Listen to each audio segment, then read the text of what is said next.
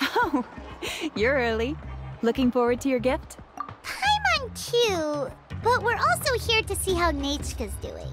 It can't be easy to recover from such a serious illness. And then there's Tlasoli. She had to give up what she loves. We just want to cheer them up. I've already asked someone to swing by and let Tlasoli know we're coming. She's probably made all the necessary preparations. Let's go then. Do you mind watching the story niche? I'll be right back.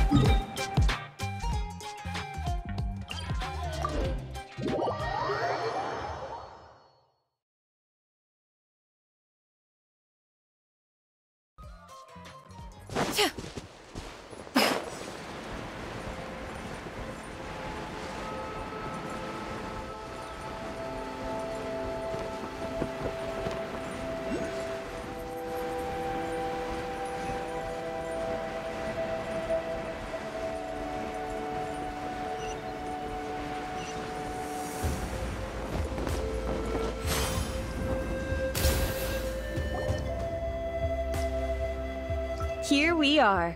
Nice house, right? Give me a sec, I'll go knock. Tlasoli! Open up! They're here! Tlasoli?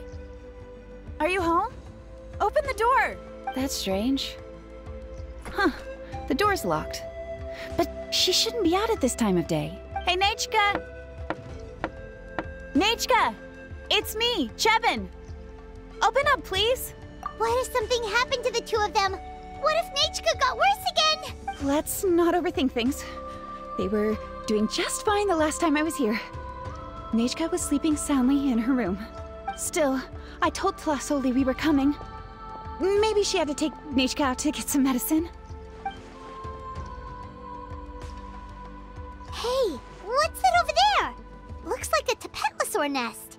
That's right. Tlasoli has a Tepetlisaur companion. If I remember right, its name is Iengu?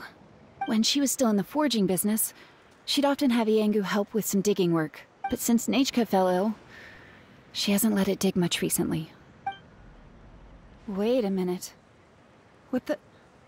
This place is a mess! Iengu's nowhere to be seen either. Whoa, look at all these broken boxes.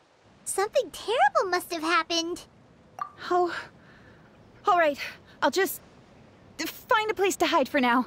How is it that every single time Emish tells me not to go someplace dangerous, I end up running into danger? It's like her words have some sort of power over me. Maybe it's the Wayob's doing.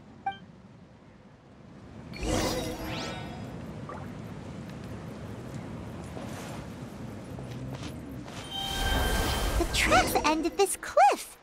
Could the Tepetlisaur have climbed up the mountain? Let's head up there and see.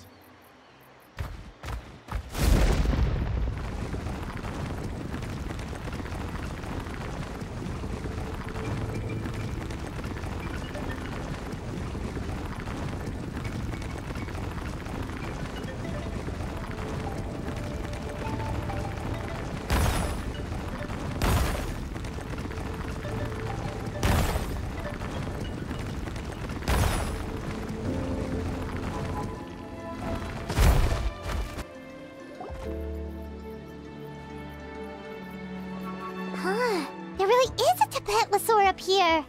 Might not be Tlasoli's companion, though. Uh... Paimon still doesn't see any sign of Tlasoli. Hey, Traveler! Paimon! That's Chevin's voice! Come down, quick! Tlasoli's here! Huh? We just got up here and Tlasoli's back already? What a coincidence. Well, guess this means we should head back down. Uh, why is the Tepetlisaur coming along? Whoa, hey, hey, don't run, you'll hit us!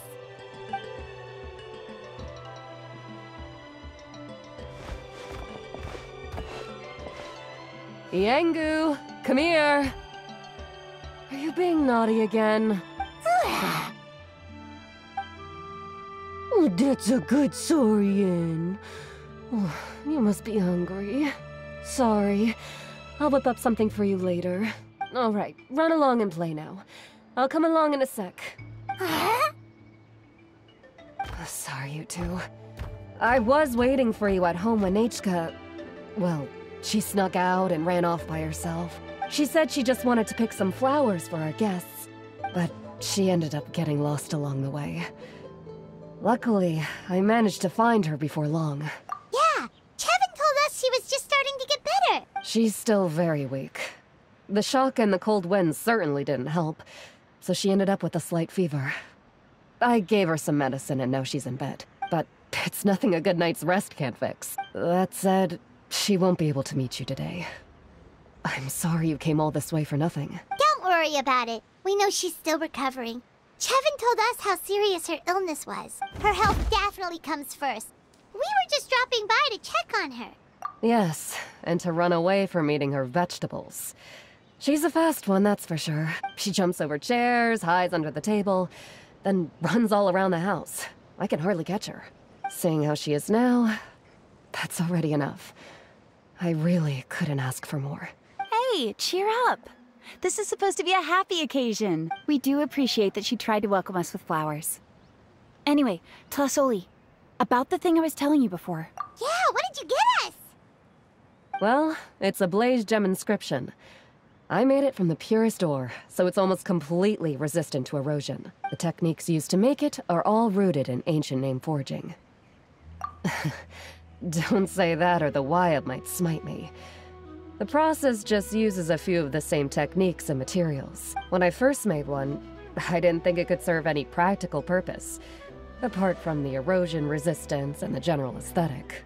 But then Chevin suggested using the crystals to make a special kind of ornament. Blaze gem inscriptions made by an ancient name artisan, engraved with words that never fade. Quite the sales pitch, don't you think? Wow, that description really does make it seem special. Tlasoli's blaze gem inscriptions really are special, though. Word of mouth isn't always reliable. As information gets passed along, it becomes incomplete, forgotten, and sometimes even distorted. But the words inscribed on these crystals will stand the test of time.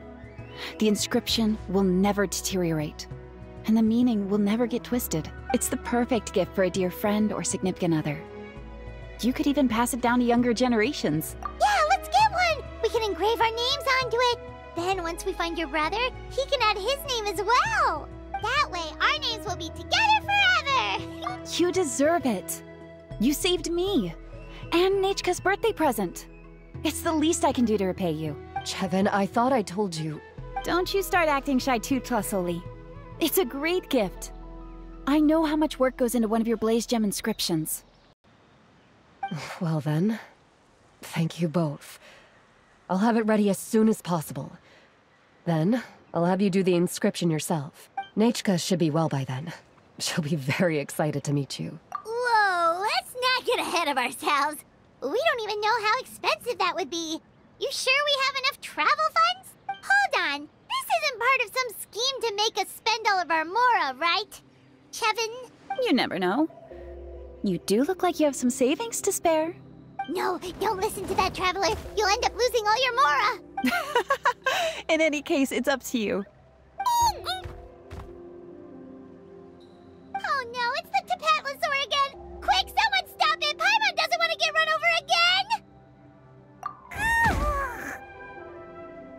Also, if you don't mind, Tlasoli, I'd like you to help me repair my Blaze Gem inscription. I dropped it when I was attacked earlier. The rope and clasp both snapped, so I haven't been wearing it. I tried fixing it myself, but I just couldn't get it to stay. Could you help? Just leave it to me. I'll make it as good as new. Thank you, Chevin, for going all that way and... It was nothing. We all just want Nachka to get better. You're right. Miangu, behave yourself. I'll feed you in just a second. I'll have Chevin contact you once everything's ready, Traveler. Maybe we'll even line it up with Nachka's birthday. We can even have a little party. Oh, that sounds great! We'll look forward to all the good food, and we'll make sure we're ready to eat. Anyway, see you around, Tlasoli! Look after yourselves.